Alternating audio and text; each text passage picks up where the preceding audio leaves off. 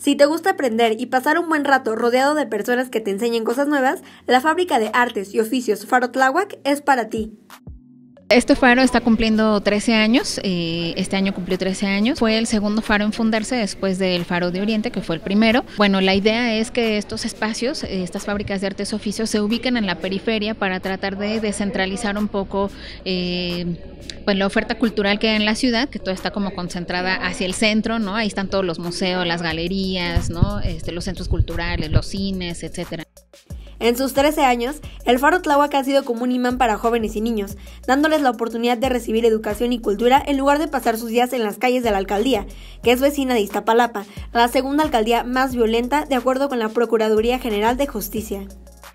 Tenemos muchos casos de alumnos, por ejemplo, que están aquí toda la semana, ¿no?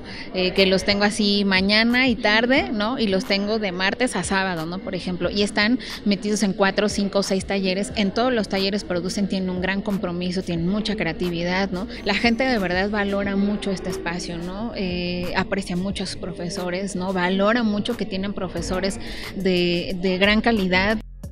Faro Tláhuac ofrece más de 70 talleres totalmente gratuitos, entre ellos danza aérea, fotografía, fabricación de muebles y cultura gastronómica. Seguramente encontrarás el taller ideal para ti y no querrás dejar de venir.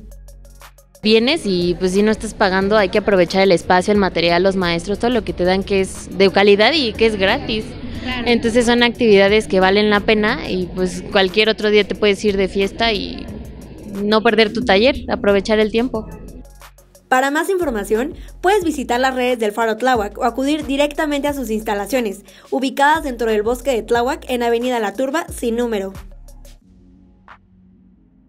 No esperes más y decídete aprender, pues recuerda que los límites del conocimiento solo los pones tú.